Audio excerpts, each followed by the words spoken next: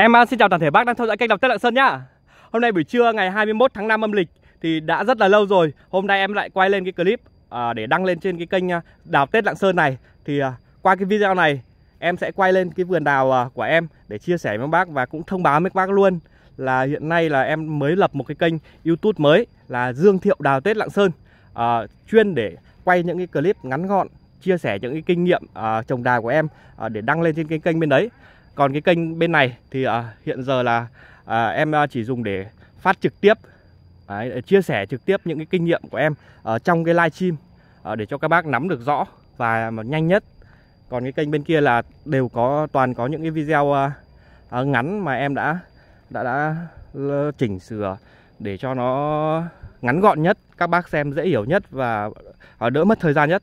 Thì các bác nào mà à, không có thời gian xem livestream trực tiếp thì các bác à, sang bên cái kênh bên đấy và ấn đăng ký kênh để theo dõi các cái video nhé à, Còn hôm nay em sẽ quay lên cho các bác xem cái vườn đào lục bình mà em mới cắt răm được 10 ngày đây các bác. Đấy 10 ngày thì à, răm nó bắt đầu à, bật lên này các bạn. Đấy, mỗi cây à, nó bật lên 3-4 cái mắt răm liền. À, Tối hôm qua thì em vừa mới đi phun thuốc à, phòng trừ sâu lục thân Và thuốc à, bọ trĩ, nhện đỏ các loại thuốc nấm luôn các bạn à, khi mà cây nó mới bật răm lún phún lên tầm độ được 2-3 cm như này thì mình phải đi phun một một lần à, thuốc để phòng bệnh. Rồi sau khi những cái răm này à, nó cao lên tầm độ 15 cm nữa thì mình lại đi phun một lần nữa. Đấy, cứ thế thôi. Một năm mà cắt răm 3 lần thì các bác phun 6 lần. À, phun phòng thôi chứ không thể chữa được nha các bác. Đấy, em uh, mời các bác cùng em uh, đi ngắm cái vườn đào lục bình này nhá. Này các bạn Răm nó bật lên nhiều lắm. Tầm giờ mình chỉ đi, đi tưới nước và phun thuốc này. À, Có phân NPK thì các bác uh, hòa ra tưới. Còn không uh, có thời gian uh, tưới thì các bác cứ vứt nó vào gốc ấy. Rồi uh, gầy gầy một ít đất lên. Bón phân đợt này là bổ sung cho cái cây đào Nó có cái chất ăn để uh, Tiến tới là đợt à, 20 tháng 7 này, Hoặc là đầu tháng 7 âm lịch này, Mình mà chốt răm, Khi mà mình chốt răm nó Nó sẽ bật được lên à, tầm độ 3-4 cái mầm như này. Đấy, thì à, nó sẽ có sức, Nó nuôi được cả ba cái, Nó đều bằng nhau. Nó mọc đều bằng nhau thì cái răm của mình sẽ đẹp hơn. Còn nếu như mà các bác mà không bón được lân, Cây nó sẽ yếu thì nó bật lên được ba cái mầm. Thì nó chỉ bật là nó nó chỉ cao được một cái lên thôi, còn hai cái nó cứ ngắn tụt tụt như này thì cái răm của mình rất là xấu và bông hoa khi chơi Tết thì nó không được đẹp đâu nha các bác Đấy.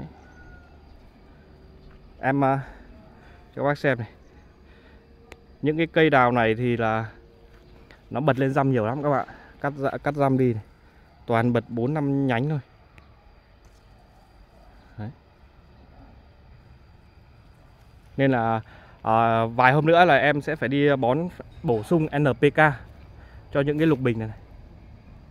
mỗi cây ờ, chỉ cần bốn nhúp bốn nhúp lân thôi. À, một nhúp một bốc lân ở bên đây bên kia bốn góc. Bốn góc cái bình này các bạn ở bên cái kênh Dương Thiệu Đào Tết Lạng Sơn thì à, em cũng đã quay clip lên để chia sẻ với bác à, cái cách bón phân và bón lân rồi. À, cả cái cách phun thuốc phòng bệnh à, cho cái dịp à, cuối năm này nữa. Tại vì đợt dịp cuối năm này cái bộ răm của nó rất là quan trọng. Các bác không phun được phòng mà để nó bị bệnh thì là coi như là hỏng luôn đấy các bạn. Nó rụng lá hết và nó bị bệnh thì cây của mình nó rất là xấu. Nên là các bác phải phun phòng nhá. À, Sau mỗi cái đợt cắt răm như này Cứ răm cứ dài được uh, ba cm này mình đi phun phòng một lần. Và khi nó cao được khoảng độ 15cm Giống như những cái cây đào giáng long này này. Đấy, khi cao được khoảng độ 15 đến 20 cm như này thì các bác lại đi phun một đợt nữa thì là cây nó lúc nào nó cũng sạch bệnh nó xanh mướt nó đẹp như này, này các bạn. Đấy. cây ráng long.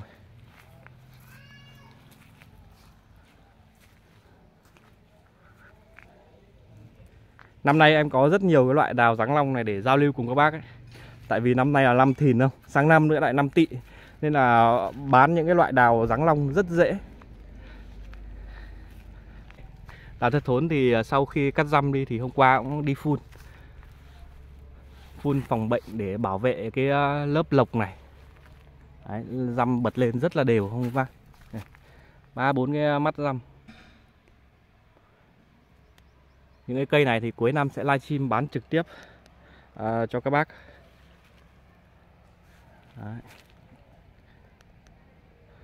còn đào huyền đây đào huyền là đang bị bệnh à, bệnh à, bọ trị trích các bạn thì đây này cái lá nó cứ xoăn tít vào.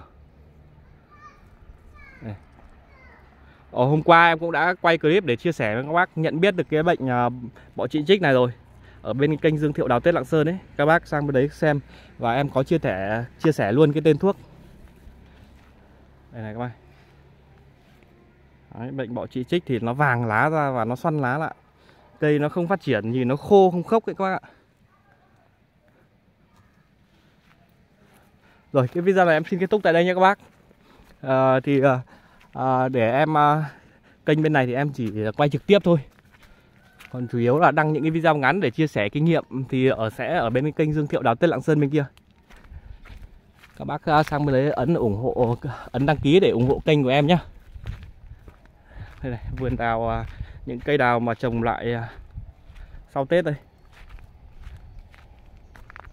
Đấy. Rồi, em à, xin chào toàn thể các bác nha